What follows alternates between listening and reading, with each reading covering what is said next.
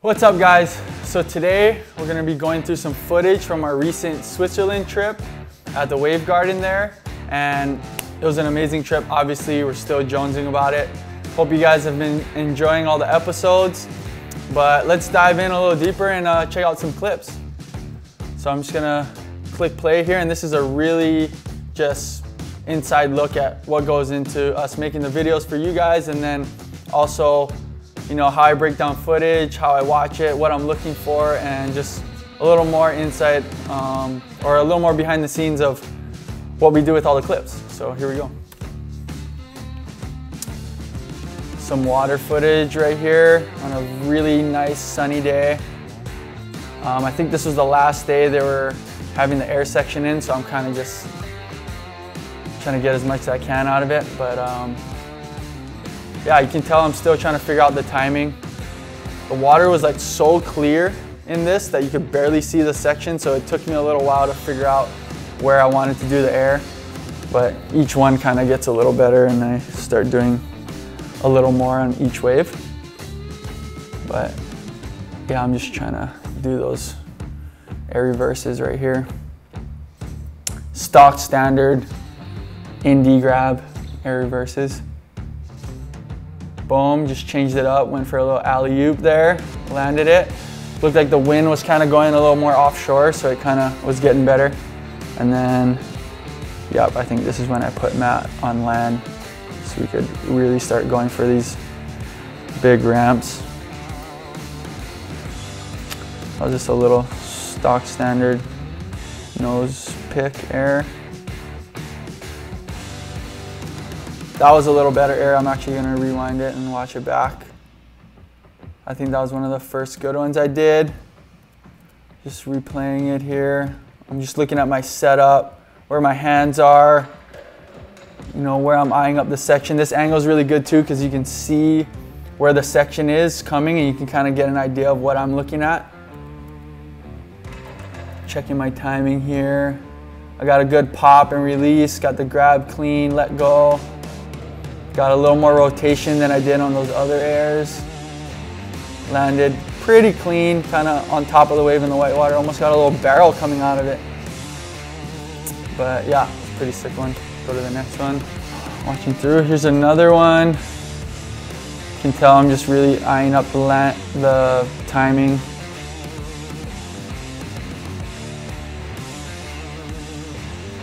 Pretty crazy to see cars in the background. That was a pretty sick one. I'm gonna rewind that as well.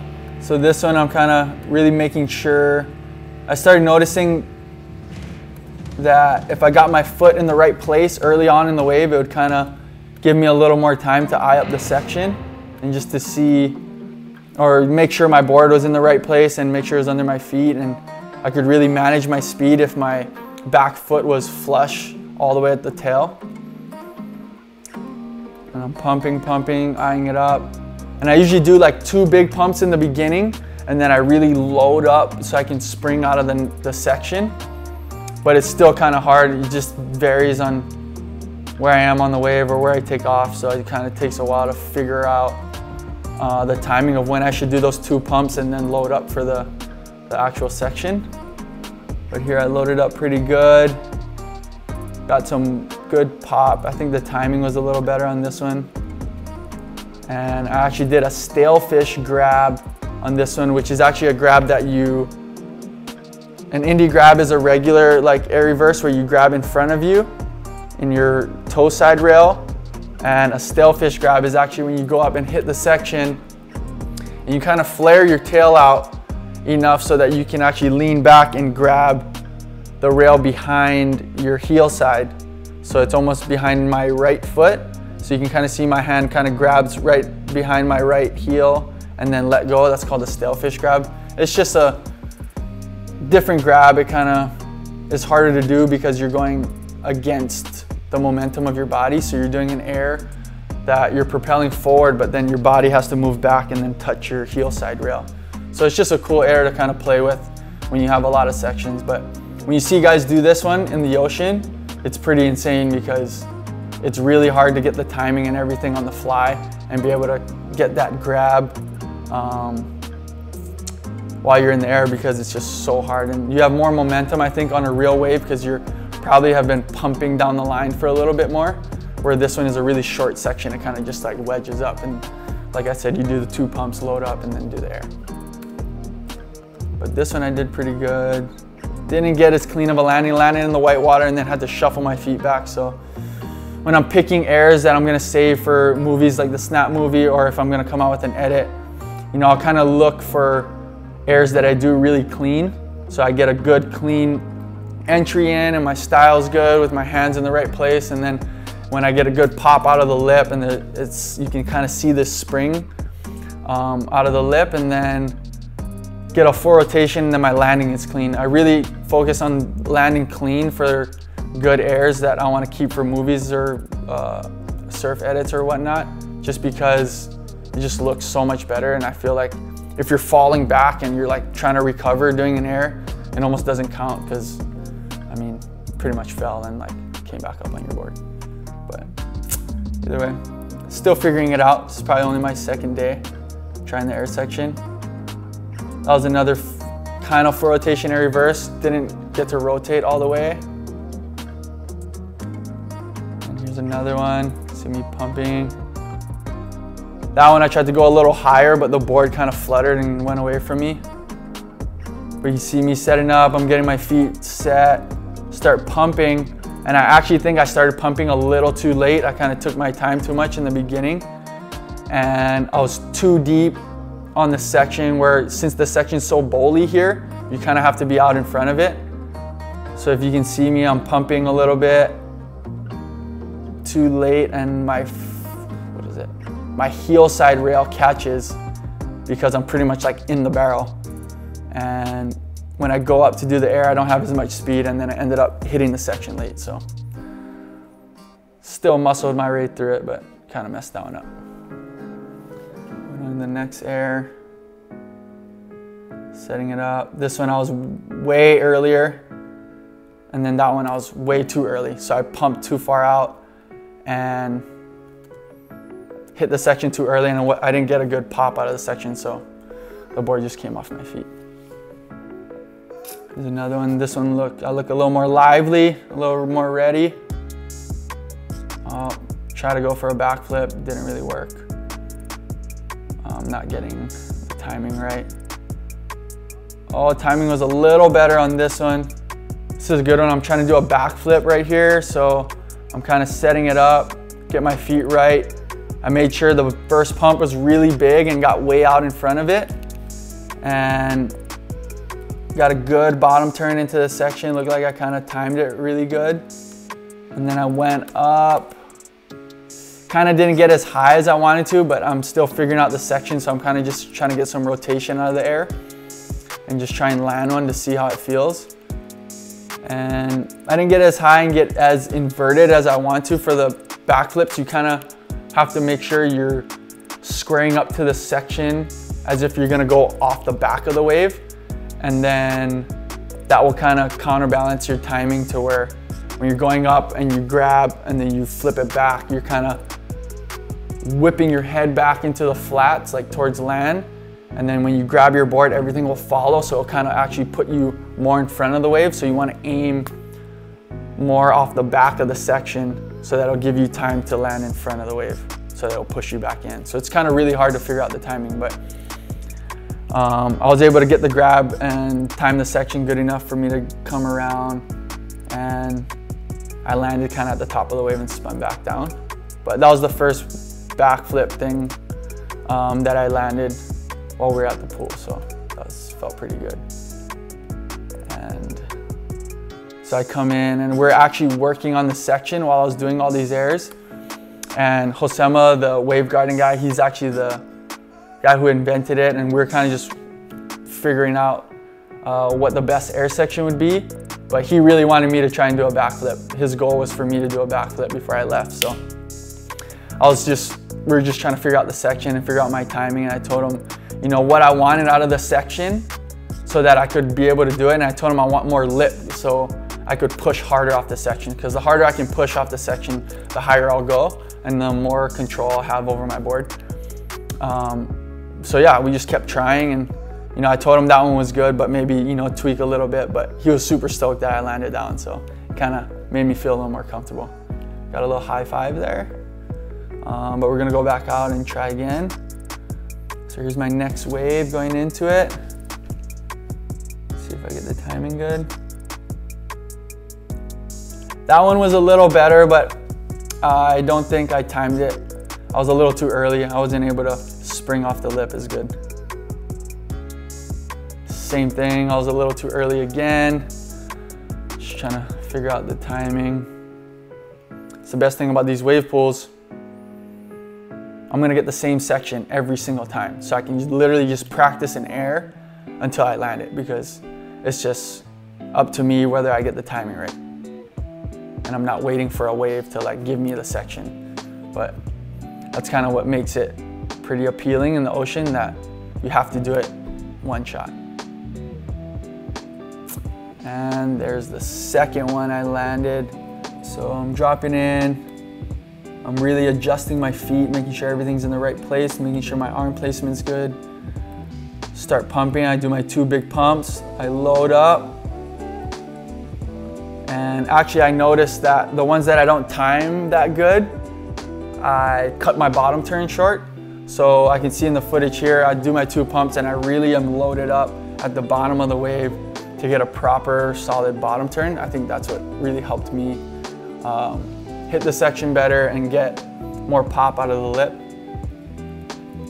Slow it down here.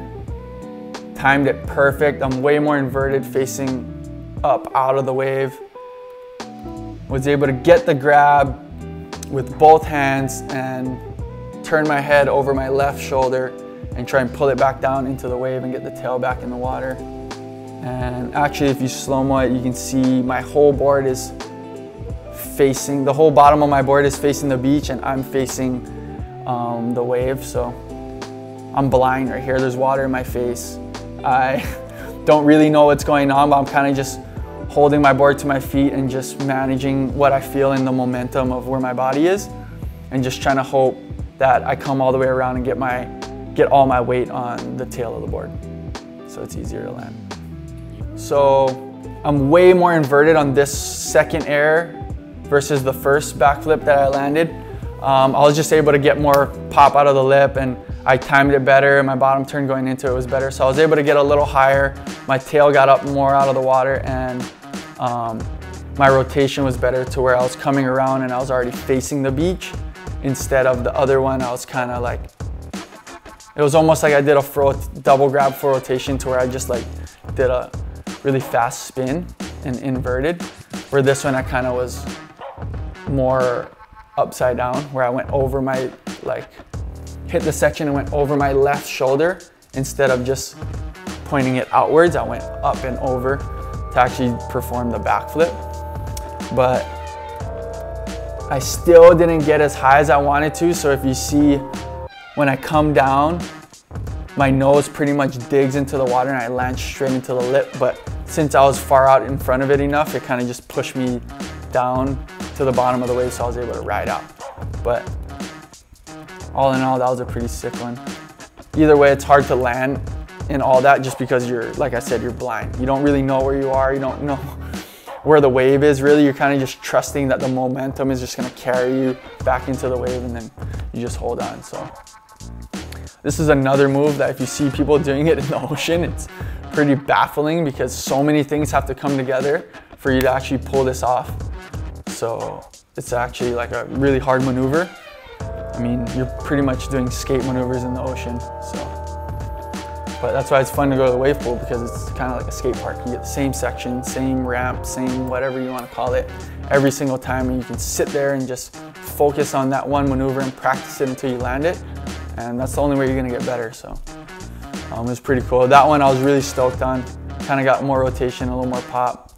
Came in, Josema was psyching, got another high five. It was, it was just super cool to work on something and you know, not only am I working on you know, my surfing and the waves and stuff, but he's working on perfecting his wave and perfecting these air sections so guys can, you know, come and practice these things because it's hard to practice in the ocean. You don't get enough chances so many elements have to come together that make it almost impossible to practice airs. I gotta go find, you know, a wave that has good air sections, but I could be surfing for three hours and maybe get one, if I'm lucky, two of these sections, and I have to nail it.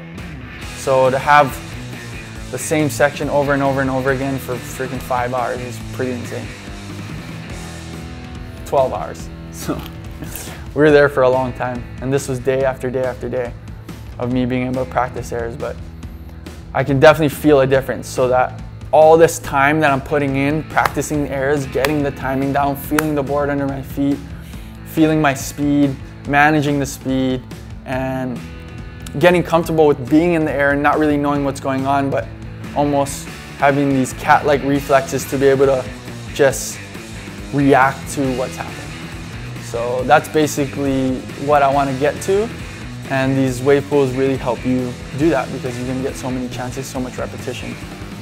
Um, that when those times do come together in the ocean, I'll be more confident in that I'll be able to perform in that specific time. Watching another one here. Now I'm kind of past the backflip, so I'm kind of working on different grabs. And since I got the timing down and I can kind of work on different airs that I always try to do in the ocean and see, you know, how they go in the pool. That was a really sick air. I was really trying to work on the air reverses, whether it was a grab, Indy grab or no grab. Um, I'm really just working on rotation. So when we're in contests and stuff, you know, stock standard air reverses or full rotation air reverses are really useful with getting scores or putting together combinations. You know, to do a snap into a full rotation air reverse is a really good thing to have. So for me, I'm really just trying to practice uh, my landing ratio and also the rotation to see how fast I can get the rotation and to get a full rotation more consistently and get used to that, that feeling of spinning all the way around and landing it clean. So I was really trying to focus on that. So here um, on this air, I'm really stoked on the rotation I got and landing clean. You can watch it back tail high, stuck it, rode out clean.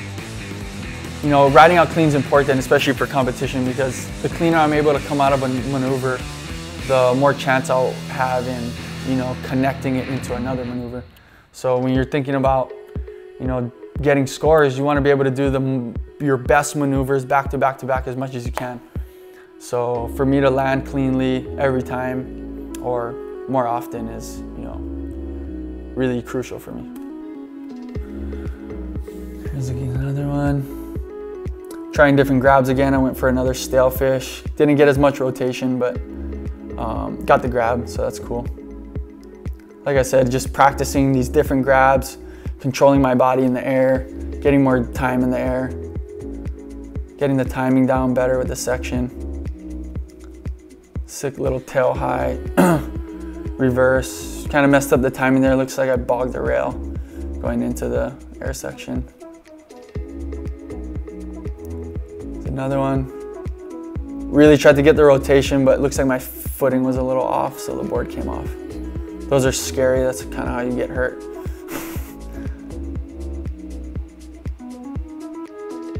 That one was kind of a messy throw tail air reverse.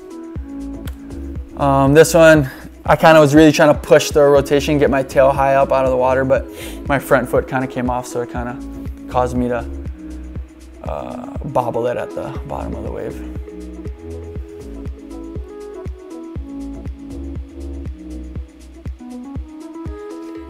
Coming into this section.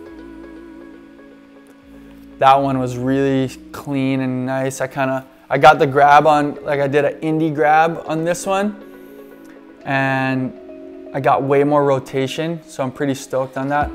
Higher line, pump, one more big pump. You can kind of see my board just right at the top of like the coping of the lip.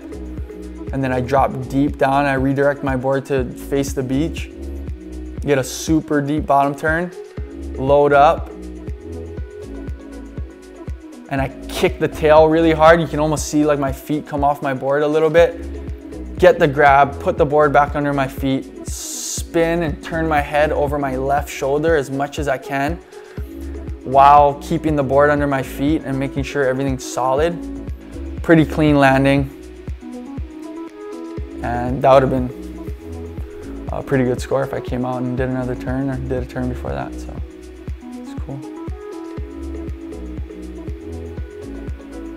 Now we're kind of playing with the grabs. I'm trying to do these little straight, straight lean airs, they're called. A lean air is when you um, grab your with your left hand, or I shouldn't say your left hand because for the goofy footers out there, a lean air is when you grab with your front hand behind your front foot. Behind, I'm getting confused. A lean air is when you grab with your front hand behind your front foot heel, side rail. and you just kind of hang it up there and you kind of manage your speed and your body in the air. Um, you can kind of see it when I'm doing it. I kind of pull the board and give it a little tweak. These are just really fun to do um, just to practice controlling your body in the air and controlling the board at the same time. So you're able to go up with speed, grab the board, give it a little tweak, keep it under your feet and then land cleanly. So, I mean, it, it's not a crazy nuts air. I feel like it's pretty standard. A lot of people can do them, but it's just really fun to be able to play with your body and, and move in the air and, and do different things and just practice controlling. It's almost like, well, I got so many air sections. It's almost like I'm playing on a trampoline at this point. I'm just practicing being in the air with my surfboard. So I do this a few times. I was just kind of playing with it. It's almost like a, it's kind of skatish to where skaters kind of launch off the coping and do their little like tweak airs. It's super cool. Sky is standing on the air section thing. We can slow-mo this. This looks crazy. I'm pretty sure if you did this in the ocean, you might die. So definitely don't do this if you see this in the ocean. But so he's standing on the block that's creating this air section. You can see I'm kind of loading up, eyeing out the section, and he's literally standing where I'm gonna do the air. So I'm trying to manage my speed so I don't hit him and I'm able to grab my board so that I can do like this little transition air right over him. So pretty cool. It's fun air to be playing around with. Run again.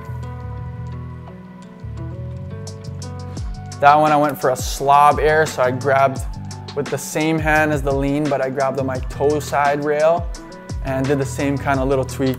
Like I said, I'm just playing with it, trying to see um, what different airs I like, how I feel in the, um, in the air with my board, working on little technique stuff, setting up the timing. Went for another slob. You can kind of tell maybe this isn't the right section for that type of air. I'm not getting as much pop out of the lip, but it's cool to try. Now I just went for a stock straight Indy grab air.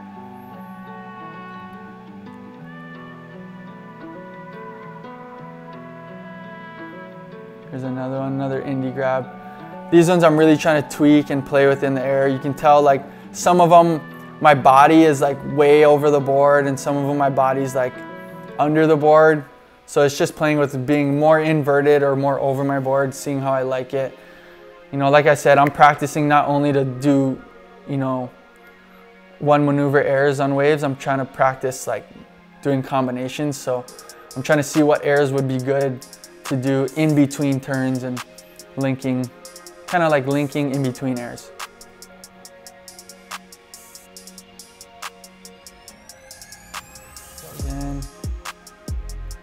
And this one I can kind of, I'm really practicing the setup as well. So I'm like playing uh, where I want to have my weight shifted before I do the pumps, where my arms are, because where my arms are before I start the air are going to determine where my arms go while I'm in the air. So I really want to keep everything tight and compact so then when I go up and explode and I expand my body, my arms aren't just flailing everywhere. They're kind of like tight and keeps my core engaged, keeps everything tight so that when I'm in the air, it's easier to control my body and you know, be able to control what I'm doing in the air to make the landing not as gnarly. So, you know, doing airs is all about the landing. So you have to be in control so that when you land, you're not landing, you know, like out of range or like overly extended because that's kind of how you get hurt. You don't want to be like overly extended and you know have your knees buckling and doing weird stuff. So you want to be tight, compact, core engaged. Keep going, you can kind of tell I'm ramping up. Looks like the wind's getting better in these clips. There I went for my alley-oop, for rotation alley-oop on this section. We're gonna go back to this. See if I set it up different. You know, different airs, you have to set up different with the timing and whatnot. So and kind of look, I'm stalling more in the beginning instead of like doing a pump. So I stall and get high on the wave, wait for that timing, Get high on the wave. Do one more little pump. Load up. Wow, this one I really keep everything compact. My elbows are in. I get low to my board. I'm able to eye up the section. But now you can see when I'm going up to hit the section, my body or my shoulders are literally parallel with the lip. So I'm squared up totally with the wave and I'm getting ready for that, you know, back shoulder to drop and my front shoulder to come over and my head to turn over my right shoulder. So basically when, I, when I'm squared up, I'm gonna go up and hit the lip and bring my front foot up so that the rest of my body follows and I'll bring my, you know, open up my hip and then the nose of the board will go straight up. And then simultaneously, once I hit the lip, I'm dropping my right shoulder and turning my head as much as I can. The more head movement I get into this maneuver, the faster my body will spin. But at the same time, I'm trying to hook my foot, my back foot into the tail of the board to keep the board flush to my feet. So there's a lot going on in this specific time.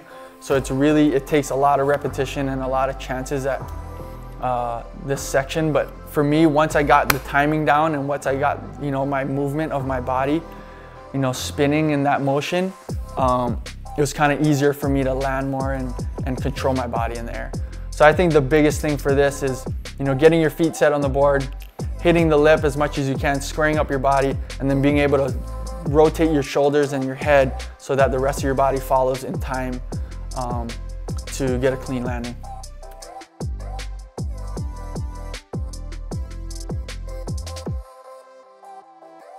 What I like about this air the most is the uh, the landing. I was able to do a tail tap landing, which is, you know, the best type of landing you can do for an air. If you can do an air and land in a way that your tail drops and taps the top of the wave and then you ride out, that's the most ideal way to land an air and the cleanest way. So I was able to kind of do it on this one, so I'm stoked.